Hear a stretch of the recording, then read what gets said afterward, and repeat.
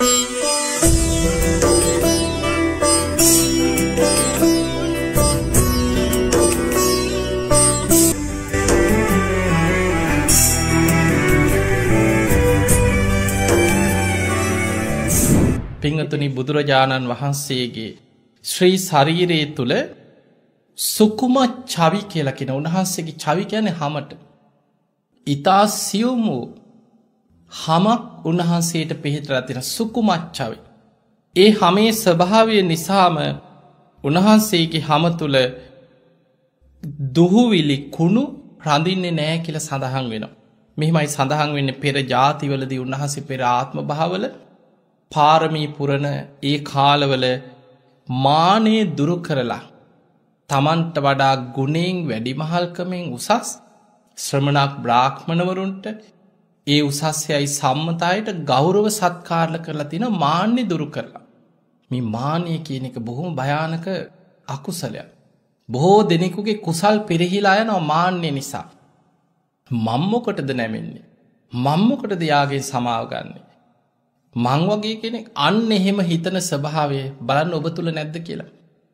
බොහෝ දෙනෙක් ඔළුව පාත් කරන්න කැමති නෑ කවුරුට් ළඟ. අඩියක් පස්සට ගන්න කැමතිනේ. තමන්ට තමන් පහත්වෙනවා තමන්ගේ තත්ත්වයට හොඳනෑ මෙන්න මේ සිතුවිලි නිසාම ඔබ බලන්න මොනතරම් මනුස්්‍යයම් ප්‍රශ්න ගැටලු පීඩාවල පැටලි පැටලි යනවද. සමහර වෙලාවට ඒ මොහොතේ නිහතමානී වුණානම් අඩියක් පස්සට තිබ්බනම්. ඔබට බොහෝ ප්‍රශ්න විසඳගෙන සැනසිල්ලෙ සතුටෙන් ඉන්න තිබුණ. නමුත් මිනිස්සු මානය නිසාම බොහෝ ප්‍රශ්න පටලැවිලි හදාගන්න. පිංහතුනි අපේ බෝසතාණන් වහන්සේ දීර්ග සංසාර ගමනි පාරමී පුරණ ආත්ම භාවල උන්වහන්සේ මානය දුරුකිරීම පිණිස් කටයුතු කරපු කෙනෙ. උන්වහන්සේ යම් ගුණයක් තියෙන කෙනෙක් හිටියනං ඒ කෙනාට හිස නමල ගෞරව කර. ඉදිරියෙන් යන්න ඕන කෙනාට ඉදිරි පස දෙනවා. ආසනයක් දෙන්න ඕන කෙනාට වැඩඉන්න කියල ආසනය දෙනවා. ගරු කළ යුත්තන්ට ගරු කරනවා. ඒ නිහතමානයකම උන්වහන්සේ පුරුදු කර. අන්නේ නිසාම උන්වහන්සේ ඊළඟට ඒ මහන බමුණන් ළඟට ගිහිල්ල මොකක්ද යහපත් මොකක්ද අයහපත් කුමක්ද හොඳ කුමක්ද නරක මේවා විමසලා යහපත කුසලය හොඳ පුරුදු කරා නරක අයහපත බැහැර කරන්නට ඉදුණ. අන්න ඒ නිසාම උන්වහන්සේ සම්මා සම්බුද්ධත්වයට පත්වෙනකොට උන්වහන්සේ සසර මේ මානයේ දුරුකිරීම තුළ. පුරුදු කරපු පුුණ්‍ය ශක්තිය නිසාම සුකුමත් චවිතා කියන මහාපුරුස ලක්ෂණය උන්වහන්සේ තුළ පිහිටිය.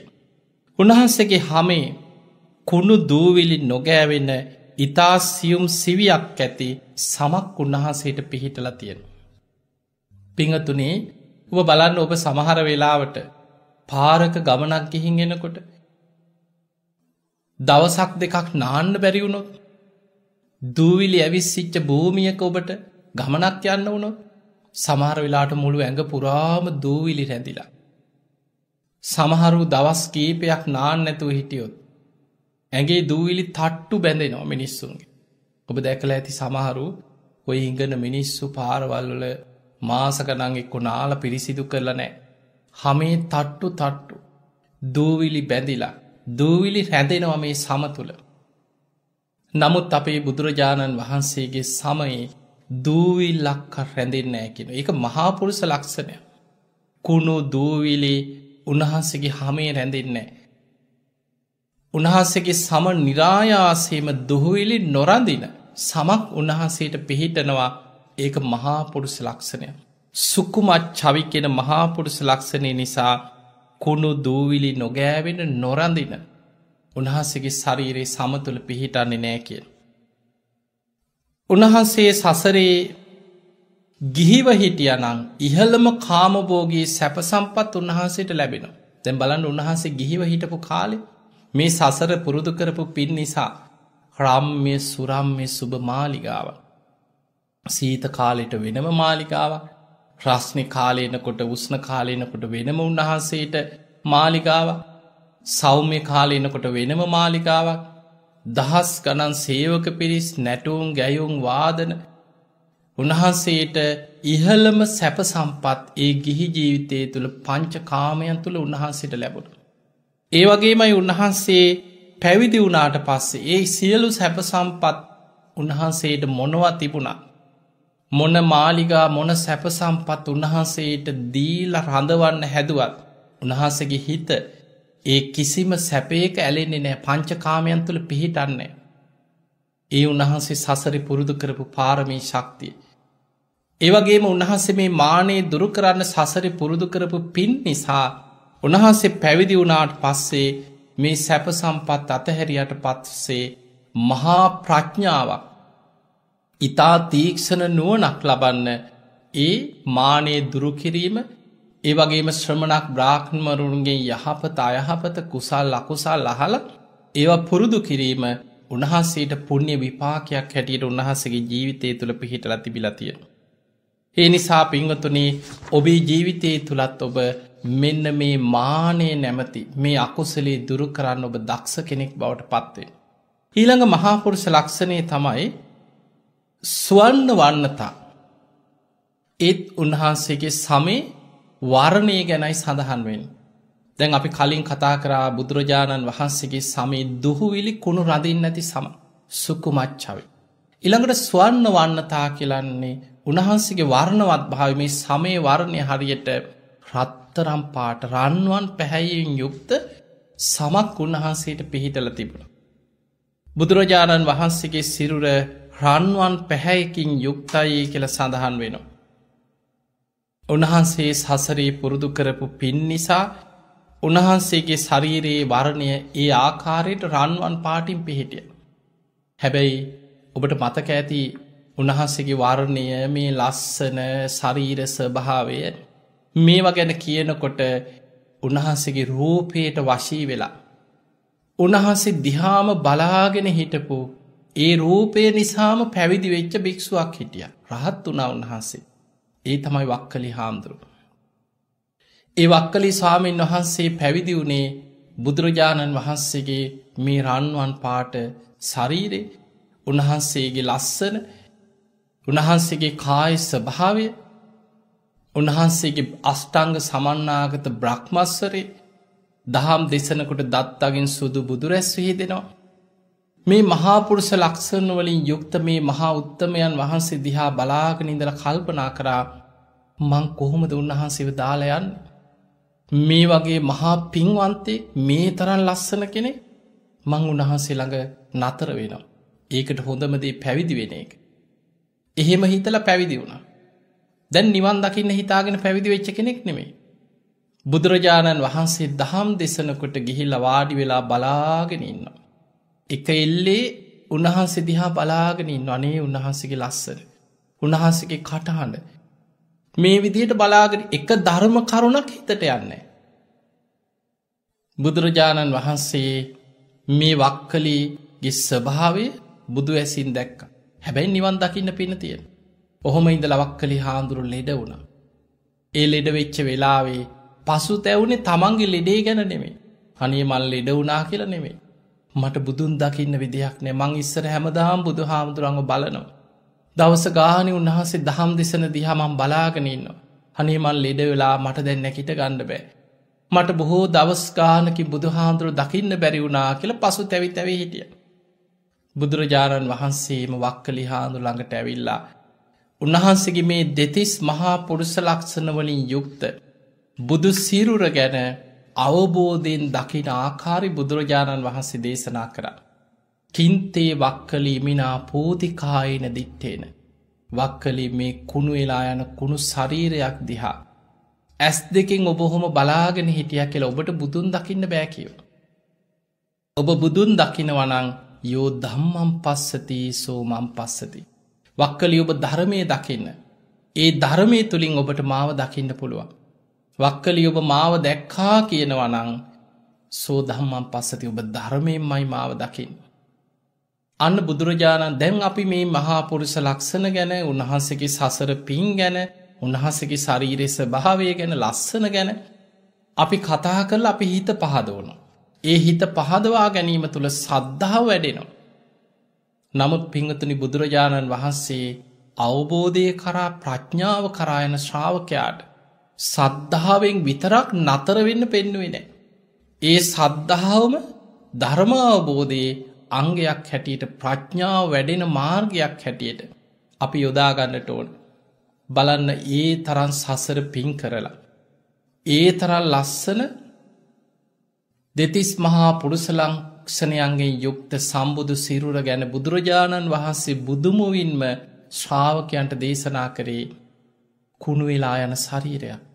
ඉමිනා පූතිකායන දිත්තේන කුණුවෙලා යන කයක් මේ. එදකොට බුදු සිරුරත් අනිත් අයගේ ශරීර වගේම පටවි ආපෝ තේජෝ වායුමි සතරමහා දාත් වෙන දේවල්වලින් හැදිලනෙමේ. පටව්‍යාපෝ තේජෝ වායෝ කින සතරමහා ධාතුන්ගෙන් හටගත්. දෙතිස් කුණුප කොටස්වලින් යුක්ත. නවදොරකින් අසූචි වැගිරෙන කයක් කියල අපි මේ කයදිහා අසුභ වසයෙන් පිළිකුල් වසයෙන් බලන්න බුදුරජාණන් වහන්සේ පෙන්වේ.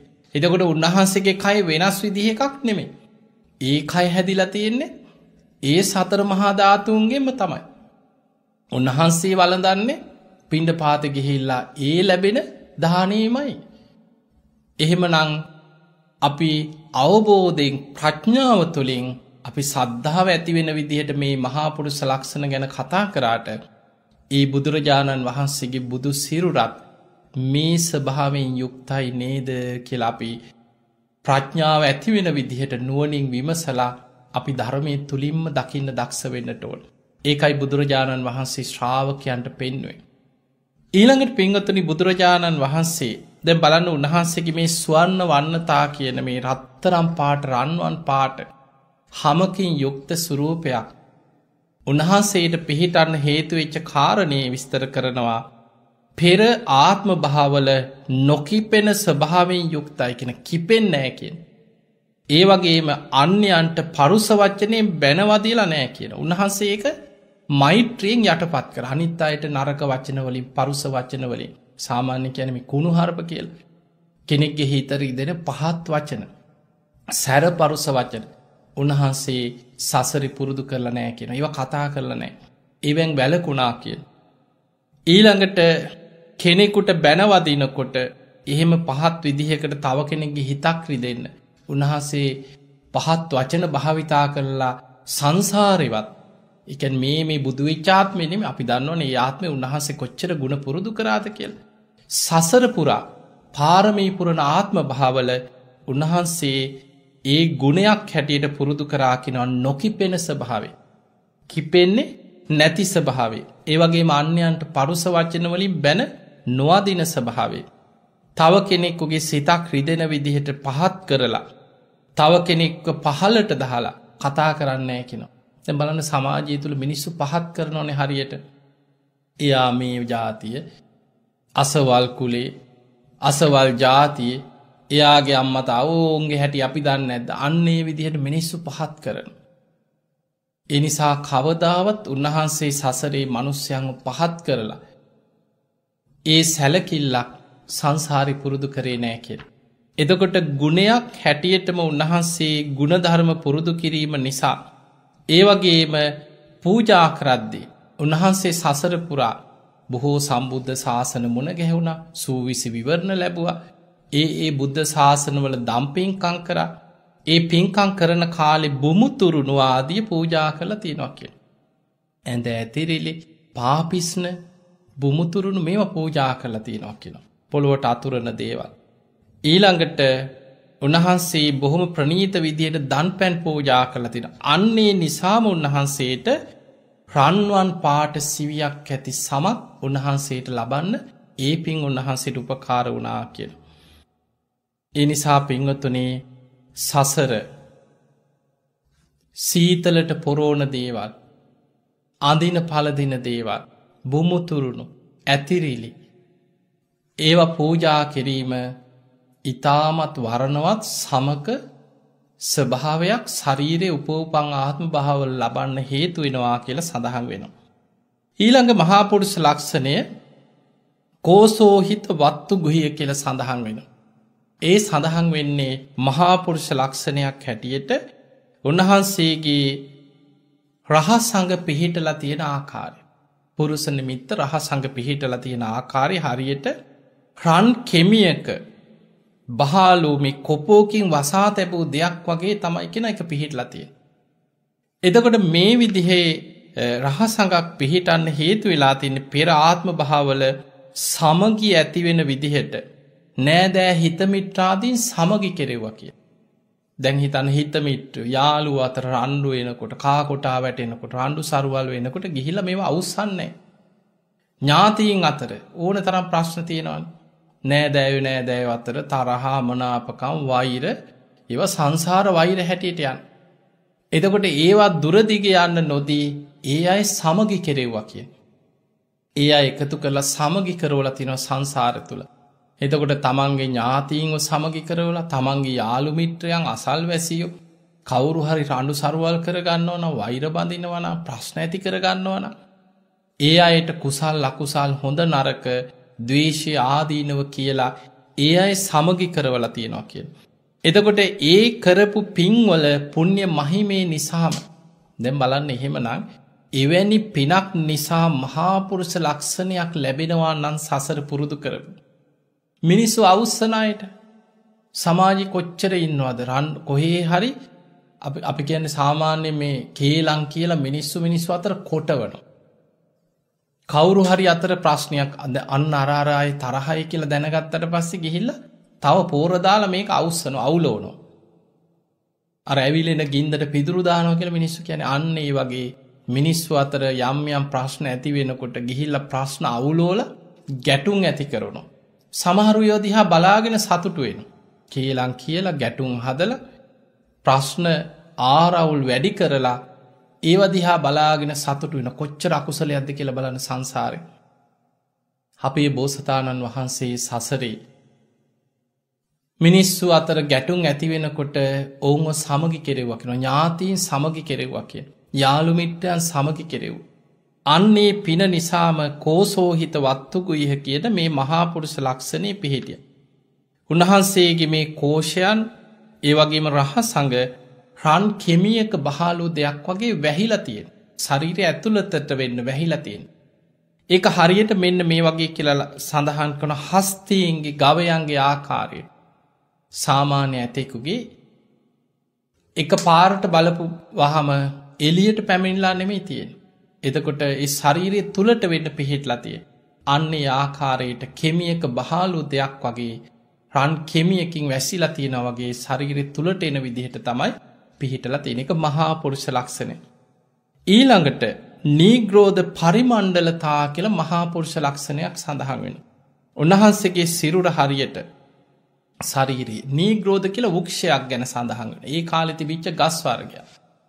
ඒ ගස්වාර්ගය හරියට ඒවේ අතු ඒ ගහේ උසට සරිලන විදිහට අතු විහිදිලා තියෙනවාකින් දැම් බලන්න සමහර ගස්තියනවා ඒ ගස්දිහා දැක්ක ගමන් කෙනෙකුට හිතෙනවා හරි පිරිපුංගහ බලන්න හොඳට අතු දසත අතු විහිදිලා ඒ ගහේ කඳට හරියන්න විදිහට අතුවල ස්භාවේ උස කොලවල ස්භාවේ හරි ලස්සනයි හරි පිරිපුන් කියල කෙනෙක් යම් ගහක් දැක්කට පස්සේ ගහතිහා බලල හිතන. එතකොට ඒ කාලෙ තිබිලතන නීග්‍රෝධ කියලා උක්ෂයක් ඒ උක්ෂයත් හරියට ඒ වගේ කියන. ඒ ගහේ කඳට සරිලන විදියට අතු විහිදිලා පැවතුනා කියනවා. ඒ ගහ හරියට පිරිපුන් විදිහට පිරිච්ච ගහ නීග්‍රෝධ කියන උක්ෂේ.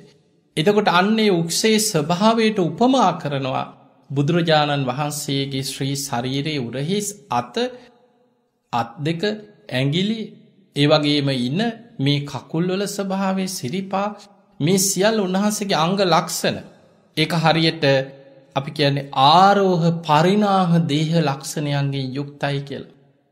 උස්සට සරිලන මහතක් ආරෝහ පරිනාහ දේහ ලක්ෂණයන්ගේ යුක්. අන්නේ වගේ ලක්ෂණයක් බුදුරජාණන් වහන්සේගේ මුළු සිරුර පුරාම උන්වහන්සේව දකිනකොට ඒ ලක්ෂණයන්ගෙන් යුක්ත මහාපුරුෂ ලක්ෂණයක් හැටියට ඒ කයි ස්භාව උන්වහන්සේට පිහිටිය. දැම් බලන්න පෙනුමෙන් පවා උන්වහන්සේ අනෙක් සියල්ලං අතර ආකර්ශනීය. හිත් ඇදගන්න මහා පුුණ්්‍යවන්ත පිනක විපාකයක් හැටියට මහාපුරුෂ ලක්ෂණ රැසකින් යුක්ත උත්තමයන් වහන්සේ නමක් ඔබ මම සරණගි අපේ බුදුරජාණන් වහන්සේ. ඊළඟට උන්වහන්සේගේ ඒ ශරීර ලක්ෂණ තවත් ඒ නීග්‍රෝධ පරිමණ්ඩලතා වගේම අජානූලම් බිහත්තතා කියල සඳහන් වෙනවා උන්වහන්සේ සංසාරි බොහෝ ආත්ම භාවල මහජනතාවට සංග්‍රහ කරමින් සුදුස්සන්ට සුදුසු තැන දෙමින්. සුදුසු විදිහට ඒ පරිත්‍යාග කිරී මාදී පින්කංවල උන්වහන්සේ දිච්ච කෙනෙ. ඒ පින නිසාම උසට සරිලන මහතකින් උන්වහන්සේගේ ශරීර යුක්තයි කිය. එතකොට මේ ශරීර ස්වභාවය ගැන තමයි මේ කහා සමානම ලක්ෂණ කීපයක් කියයි. ඊළඟට සීහ පුබ්බද්ධ කායතා කියන සාමාන්‍ය සිංහයකුගේ වගේ. කාය ස්භාවයකින් යුක්තයිකන ගැන සිංහෙකි වගේ ගක්තිය නොන්නෙමේ. සාමාන්‍යයෙන් කෙනෙක් ඔබත් බලන්න සමහරයි කෙනෙක් දිහා බලලා ඒ කෙනගේ පෞර්ෂය පෙනුම දිහා බල්ලකිනොත් සිංහෙක් වගේ මනුස්සේ. ඒ කෙනගේ පෙනුම හරියට අනිත් අය අතර මිනිස්ව අතර තියෙනකොට සිංහෙක් වගේ කැපිල පේනවා. එක උපමාවක්. ඒ උපමාවෙන් අපි කෙනෙක් දිහා දැක්ක ගමන් කෙනෙක්ගේ ආකර්ශණය යාගේ පෙනුම කායි ස්භාවය කෙනෙකුට වැටහෙන. ඒවගේ අපේ බුදුරජාණන් වහන්සේගේ ශ්‍රී ශරීරයේ දේහ ලක්ෂණ උසට සරිලන මහතකින් යුක්තයි. ආරෝහ පරිනාහ දේහ ලක්ෂණ ඇති කෙනෙ. එදකොට එහි විපාක වසයෙන් උන්වහන්සේට බොහෝ ශ්‍රාවකයන්ගේ රාජරාජ මහා මාත්‍යවරුන්ගේ ගෞරව සත්කාර මේවා ලැබුණා මහාඩ්‍ය ස්වභාවයෙන් උන්වහන්සේ ගරු ගහම්බීර ස්වභාවෙන් සමාජය තුළ කීර්ති රාවයන් උන්වහන්සේ ගැන පැතිරිලාගිය උන්වහන්සගේ ගුණේ ගැන ඒ වගේම සද්ධහා සීල හිරි ඔත්තබ්බ ශෘත ත්‍යයාග පඤ්ඥා යන මේ සත්හාරය ධනය සසරි පුරුදු කරපු ඒ පින් කුසල් වඩපු කෙනෙකුට මේ වගේ ඊළඟට අයව සමගි කරවලා මිනිස්සු අත්තර ගැටුම් ඇතිවෙනකොට ඒව වලක්වල මහජනතාවට සංග්‍රහ කරලා සුදුස්සට සුදුසු තැන ලබාදීලා පරිත්‍යාග ලබාදී යුතු ඇතයි පරිත්‍යාග ලබාදීලා එතකොට මේ වගේ සසරි පුරුදු කරපු ගුණධර්ම නිසාතමයි මේ කාය ලක්ෂණ මේ ශරීර ලක්ෂණ ලැබේ. ඊළඟට තවත් උන්වහන්සේගේ මේ කයි ලක්ෂණම තමයි මේකින් එක කියන්න. ආරෝහ පරිනාහදීහ ලක්ෂණ ඊළඟට උන්වහන්සේගේ ශරීර පෙනුම හරියට සිංහෙකුගේ වගේ සීහ පුබ්බද්ධ කායතා ඊළඟට උන්වහන්සේගේ ශරීරයේ ලක්ෂණ උන්වහන්සේගේ හරියට පිට මැද්ද රැලි ගැහිල නෑ කියන. සාමාන්‍යයෙන් ඔබ බලන්න මේ උරහිස් දෙක අතර සමහර අයගේ මේ උරහිස්වල මැද හරියනිකම් වලක් වගේ පිහිටලා තින උරහිස් මැද්ද. හැබැයි බුදුරජාණන් වහන්සේගේ එතන පිරිපුන් විදිහට උරහිස් සතර වලවල් හැටියට ඊළඟට අත් දෙක උරහිස් දෙක එහාට මෙහාට කනොට රැලි ගැහෙන ස්භාවයන් එහෙම ඇතිවෙන්න නෑ කිය. පිරිපුන් විදිහට පිරිච්ච ස්භාවයක් තමයි ඒ උරහි සතර පිහිට ලතියෙන්. මස්වලින් පිරි පිරුණු පිටි කරක් අපි ගැන පිටි කර කියල පිටි පස්ස.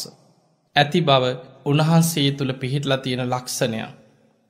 චිත්තන්ස රස්සතා කියල සඳහන් වෙනවා ඒ ලක්ෂණය ගැන. එතකොට මෙන්න මේ ලක්ෂණ උන්වහන්සේ තුළ පිහිල්ලා තියෙන. ඉළඟට උන්වහන්සේ පෙර ආත්ම භාවල ගුණෙන් ඒ වගේම ධනයෙන් අනිත් අය වැඩෙනු කැමති වෙලා තියෙන. දැම් බලන්න මේ බොහෝ මහාපුරුෂ ලක්ෂණ ලබන්න හේතු වෙනවා මෛත්‍රිය කරුණාව මුදිතා මුදිතා කියෙන තව කෙනෙක්ගේ දියුණුව දැකළ සතුට වෙනෙක්. මේක ටිකක් අමාරු දෙයක්නි සමාජය තුළ කෙනෙක් ලස්සනට ඉන්නකොට ඒකට ඊරිසියා කරන. කෙනෙක් දියුණු වෙනවා දැකලා ඒකට ඊරිසියා කරන කෙනෙක්ගේ ගුණයක් කිව්වත් අනේ අසවල හරී සීලවන්තයි කියනකොට ඒකටත් කැමතිනේ. ඒකට අනේ යාගේ සීලි අපිනි දන්න කියලා ඒ කෙනෙක්ගේ ගුණ මකනවා තව කෙනෙක් ගුණයක් වඩනවට කැමතිනේ. කෙනෙක් දියුණු වෙනවට ඔබ හිතන්න කෙනෙක් ඉඩමක් අරගෙන ගයක් හදනවා වාහනයක් ගන්නවා වර්තමානනම් යාන වාහන සැප සම්පත් හොඳට ඇඳල පැළඳල පාරි ගියා කියලා හිතක් චන මිනිස්සු ඊරිසියා කරනවා. කෙනෙක්ගේ සැප සම්පත් දැකලා ඒ සැපේට ඊරිසියා කරන එක දැයි මනුස්ස ස්භාව. හැබැයි අපේ බෝසතාණන් වහන්සේ සසර පුරා පෙරාත්ම භාවල අන්‍යයන්ගේ ගුණේ වැඩෙනු කැමති වුණා කිය. අනිත් අය ගුණෙන් වැඩෙනව දැකලා සතුට වුණා කැමති වුණා. අනිත් අයව ගුණ පුරාගන් උපකාර කරා.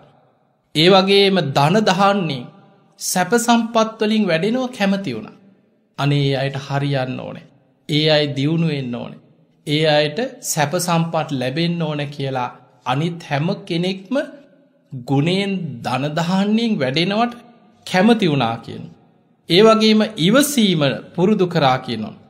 එතකොට මෙන්න මේ නිසාම උන්වහන්සේගේ ශරීරෙ මුළු සිරුරම හැම විදිහකටම ගත්තත් ඉතා පිරිපුන් විදිහට උන්වහන්සේගේ කයේ මහාපුරුෂ ලක්ෂණ පිහිටල තියෙනවා මේ ලක්ෂණ නිසාම. ඊළඟට රසක්ග සංහිතා උන්වහන්සේගේ දිව ගැන සඳහන් වෙන මේ මහාපුරුෂල දැන් අපි කලින් කතා කර මහාපුරුෂ ලක්ෂණ කීපේම පිහිටල තිබුණේ උන්වහන්සේගේ කාය ස්භාවය හමේ ස්භාවි දූවිලි නොරඳින ගතිය ස්වර්ණ වන්නතාකින රන්වන් පාට රත්තරම් පාට හමක් පිහිටිය. ඊළඟට උන්වහන්සේගේ උරහිස් දෙකාතර ඒ මස්වලින් පිරිලා තිබ්බා. ආරෝහ පරිනාහ දේහ ලක්ෂණ උසට සරිලන මහතකින් යුක්තයි. සීහ පුබ්බද්ධ කායතාකින හරියට සිංහෙකුගේ වගේ කායි ස්භාවය කෙනෙකුට කැපිල පේනවා එතකොට මේ කායි ලක්ෂණ ගැන තමයි මහාපුරුෂ ලක්ෂණ කීපේම අපි කතා කරේ. එතකොට මේ මහාපුරුෂ ලක්ෂණය සඳහන් වෙන්නේ උන්වහන්සේගේ දිවාග රසනහර හත්සීයක් පිහිටල තියෙනවා කියෙන. ඉතා කුඩා දෙයක් දිවාග තබාගත්තා. එහි තියෙන සම්පූර්ණ ආහාර ඕජාවම ශරීරයට උරාගන්නවා මේ මහාපුරුෂ ලක්ෂණය නිසා. රසක්ග සක් හිතා. ඔබට මතක් එන්නට ඕන මේ කරුණු කියනකොට අපේ බෝසතාණන් වහන්සේ දුස්කරක් ක්‍රියා කරන කාලි. උන්වහන්සේ දුස්කරක්‍රියා කරන කාලේ බුදුරජාණන් වහන්සේම දේශනා කොන සාරිපුත් ඒ කාලිමං එකා බෑටයක් දිවාගතියාගත්ත කියන. වෙන කිසි දෙයක් නෑ. එක හාල්ලටයක් දිවාගතියාගත්ත දවසටම. එක මසංගෙඩියක් දිවාගතියාගත්තා. එහෙම කියල බුදුරජාණන් වහන්සේ දේශනා කන සාරිපුත් ඔබට හිතෙන පුළුවන් ඔය කියන හාල්ලටේ ගොඩක් ලොකුද. ඔය කියන මසංගෙඩිය ගොඩක් ලොකු එකක්ද. ඔය තල ඇටයක් ඔය අපි දැකපු ඊට වඩා ගොඩක් ලොකු එකක් අද කියලා හිතෙන්න්න පුළුවන් නෑ සාරිපුත් ඔය ප්‍රමාණයෙන්ම තමයි කිය. එතකොට බලන්න පුංචි අබෑටයක් තලෑටයක් සමහරලාවට හුළඟි හමාගෙන ඇවිල පාත්තරයට වැටෙන කොලයක් ගෙඩිය මලක් දිවාගතියාගත්. වෙන කිසිවක් ආහාරයට ගත්තේ නෑ. නමුත් උන්වහන්සේගේ දිවාග තියෙනවා රසනහර හත්සීයක්. එක මහාපුරුෂ ලක්ෂණයක් පුංචි දෙයක් දිවාග තබාගත්තත් එහි තියෙන මුළු සර අර ආහාර ඕජාවම උන්හන්සගේ ශරීරයට උරාගන්න ඒ ශරීරයේ ශක්තිය ඇති කරන්න තරන්ගේ මහාපුරුෂ ලක්ෂණය උන්වහන්සේට උපකාර කර සසර කරපු පුුණ්්‍ය මහිමයක් නිසා. තලෑටයක් පමණ සුළු ආහාරයක් දිවාග තබාගත්තත් එහි ශරීර එය මුළු ශරීරයටම ඕජා උරාබ ගන්නවා උන්වහන්සගේ ශරීර ශක්තිය ඇති කරලා දෙනවා. දිවාගනස් රසනහර හත්සීයක් තියෙනව කියල සඳහඟ. මේකට හේතු වෙලා තියෙනවා පෙර ජාතිවල කැට කැබලිවලින්. ගල් මුකුරුවලින් සත්වයන්ට හිංසා නොකිරීමේ පින මේ වගේ මහාපොටි සලක්ෂණයක් ලබන්න හේතුනා කියලා සඳහන් වෙන. අන්න බලන්න වැදගත්ම දෙයක්. බලන්න මිනිස්සු සත්තුන්ව සමහරලාවට කුසගින්න එන සතා කකාඉන්න සතා මොනවහරි ආහාරය විසිකරපු දෙයක්. කුසගින්න නිවාගන්න කන සතෙකුට මිනිස්සු ගහල පන්නන්. පුරුල්ලෙක් කියල හිතන් පලතුරක්. උයාගෙන පියාගෙන කන්නද කඩේට ගිහිල බඩුගෙනහල කෑම හදාගෙන කන්නද. කුසගින්නට පියාමගෙන ඇවිල්ල සමලට අඹගෙඩියක් ගහක තියෙන මොනවා හෝ පුංචි පලතුරක් ආහාරගන්න. එතකොට සතෙක් දැක්ක ගමන් ගහල ගල්වලින් පොළුවලින් සමහරු ආයුධ හදාගෙන තියාගෙනවා කැටිපෝල මේ වගේ එකේ ආයුධ හදාගෙන තියාගෙනන සත්තු දැක්ක ගමන් ගහල පන්න. එදකොට මේ වගේ සතුන්ට ගල්වලින් පොළුවලින් හිංසාපීඩා කිරීමේ විපාක බොහෝ ආත්ම භාවල ශරීරයේ දුබලතා ඇතු උපදින් අත පය ඇගිලි යම් යම් විකෘතිතා ඇතු උපදිනකොට මේ අංග විකලයි. එක්ක ඇඟිල්ලක් නෑ අත ඇඹරිලා. මේ වගේ ශරීර විකෘතිතා ඇතුව උපදිනවා සසරේ සතුන්ට පොළුවලින් ගල්වලින් අව්‍යාවිදවලින් හිංසාපීඩා කිරීම නිසා. එතකොට අපේ බෝසතාණන් වහන්සේ මේ කාත්මයක් දෙකක් පුරුදු කරපු ලක්ෂණ නෙමෙයි. දීර්ඝ සංසාර ගමන පාරමී පුරාගෙනෙන ආත්ම භාවල. උන්වහන්සේ ගුණයන් හැටියට මේ ගුණ පුරුදු කරා කෙන කල්ප ගනන්. අසංකේය ගණන් සසරේ ගුණ හැටියට පුරුදු කරා කිසිම සත්වයකුට ගලකින් පොල්ලකින් දඩුමුගුරකින් පහරදීල සතුන්ට හිංසා කරලා නෑ කියල. අන්නේ ලක්ෂණය නිසාම උන්වහන්සේට සම්බුද්ධත්වයට පත්වෙන ආත්මේ දිවාග රසනහර හත්සීයකින් යුක්තව. ඉතා කුඩා දෙයක් දිවාග තබාගත්තත්. එහි සම්පූර්ණ ශරීර ඕජාවම ශරීරයට උරාගෙන ඒ ශරීර ශක්තිය ඇති කරන ස්වභාවයක් උන්වහන්සේට එහි පිනෙන් උන්වහන්සේට පිහිටල තිබිල තියෙන. ඒ කුසල විපාකෙ නිසාම උන්වහන්සේ පෙර ජාතිවල සතුන්ට හිංසා නොකිරීම නිසාම නිරෝගී බව උන්වහන්සේට ලැබිලතියෙන. උන්වහන්සේගේ කායශක්ත උන්වහන්සේට විටිං විට බුදුවේ චාත්මය උන්වහසේ හැමදාම ලෙඩ වුණ අනෙමින් උන්වහසේ අවුරුදු අසුවක් වැඩ හිටිය. අවුරුදු තිස් පහක් ගිහි ජීවිතය ගත කරලා අවුරුදු විසි නමේ මහා බිනිස්ක්‍රමණය කර අවුරුදු හැත් දුස්කරක්‍රියා කර ලෝතුරා සම්බුද්ධත්වයට පත්වෙනකොට උන්වහන්සගේ වයස හරියට මවුරුදු තිස් පහයි බුදු වෙලත් අවුරුදු හතලිස් පහක් වැඩඉඳලා පිරිනිවන් පැවමේ අවුරුදු අසුවක කාලය තුළ විටිං විට උන්වහන්සේට හිසේ කැක්කුමක් කොන්දෙ කැක්කුමක් පිරිනිවන් පාන ආසන්න කාලෙ උන්වහන්සේගේ බඩේ අමාරුවක් ගැන යම් යම් රෝග පීඩාගෙන සඳහන් වෙනවා. නමුත් උන්වහන්සේ නිතර ලෙඩ වෙලා හැම වෙලාම ලෙඩින් දුක්විඳ විඳ හිටිය නෙමේ විටිං විට රෝග පීඩා පත්තු වෙන. එතකොට උන්වහන්සේට ඒ නිරෝගි සම්පත්තිය ලබන්න. අර සතුන්ට හිංසාපීඩා නොකිරීම් දැබලන්න උන්වහන්සේගේ ශරීරේ පිරිපුුණු ස්වභාවේ ඇගිලිවල මුළු කයත් පුරාම ඒ කිසිම දුරුලතාවයක් නැතුව ඒ එවැනි කයක් ලබන්නත් හේතුනේ සසරි කරපු මේ පින්. එතකොට පිංහතුන මේ වගේ පින්කං අපේ බෝසතාණන් වහන්සේ සසරේ මේ පින් පුරාගෙන පුරාගෙන ඇවිල්ල තමයි ඒ පින්වල විපාක හැටියට තමයි උන්වහන්සේට ලෝතුරා සම්බුද්ධත්වයට පත්වෙන ආත්මය තුළ ඒ මහාපුරුෂ ලක්ෂණ ලබන්න හේතුනේ. ඉ අද දවසෙත් අපි මහාපුරුෂ ලක්ෂණ කීපයක් ගැන කතා කරන්නට ඒතුන උන්වහන්සේගේ හමේස භාවය ඒ වගේ උන්වහන්සේගේ කයේ පිහිටී මාරෝහ පරිනාහ දේහ ලක්ෂණ ඒ වගේ උන්වහන්සේගේ දිවාග රසනහර හත්සීයකින් යුක්තු බව එතකොට ඒ පිහිටි මහාපුරුෂ ලක්ෂණ ගණනාවක් ගැන අපි කතා කරන්නට ඉදන මේ හැම මහාපුරුෂ ලක්ෂණයක් තුළම ඔබට දැනෙනව ඇති ඔබට මේ මහාපුරුෂ ලක්ෂණ ලබන්න හේතුවෙන්නේ සසරි කරට පින් එහෙම නැතුව වෙන හේතුවක් නිසා මේ මහාපුරුෂ ලක්ෂණ ලැබුව නෙමේ. සාමාන්‍ය දරුවෙක් උපදිනකොටබ දන්නවා අම්ම තාත්තගේ රූප ස්වභාවය. අම්ම තාත්තගේ තියනේ ජානමය ස්වභාවයක් දෙමවපියන්ගේ සමට පරම්පරාගත රෝග පරම්පරාගත ලක්ෂණ කෙනෙක්ගේ රූපයෙන් මතු වෙන දැන් සමහලාවට දෙමවපියෝ දැන් අපි ගම අප්‍රිකානු රටවල දරු උපදිනකොට. ඒ දෙමවපියන්ගේ පාට වර්ණය ඒ අයගේ පාටවලින් උපදින්න ඊළඟට බටහි රටවල් ඉන්දියාව ලංකාවගේ ඊළඟට ඒ ඒ අම්ම තාත්තගේ රූපස භාවේ ඒ අගේ ශරීර ලක්ෂණ එතකොට සමහලට පරම්පරාගත රෝග ලක්ෂණ සාමාන්‍ය අයට පිහිටනවා. ඒවා ජානවලින් ඒ දෙමවපියන්ගෙන් ඒ ශරීර ලක්ෂණ මේවා උපදින පරම්පරාවල දරුවන්ගේ පිහිටන. හැබැයි බෝසතාණන් වහන්සේ නමක් ලෝකෙ කාටවත් සම කරන්න පුළුවන් කෙනෙක් නෙමේ අසම සමයි. සසරි පාරමී පුරාගෙන ඇවිල්ලා. ඒ මහා පාරමී ශක්තියත් එක්ක සාරා සංකේ කල්පලක්ෂයක් දස පාරමී පාරමී උපපාරමී පරමත්ත පාරමී හැටියට පුරලා. සූවිසි විවරණ ලබලා ලෝතුරා සම්බුද්ධත්වයට පත්වෙන ආත්මේ උන්වහන්සේගේ බුදු සිරුර තුළින් මේ මහාපුරුෂ ලක්ෂණ මතුවනේ ඒ සසර පුරා කල්ප ගනන් අසංකයේ ගනම් පුරණ ලද පාරමී ධර්මයන්ගේ පුුණ්‍ය ශක්තිය නිසාමයි.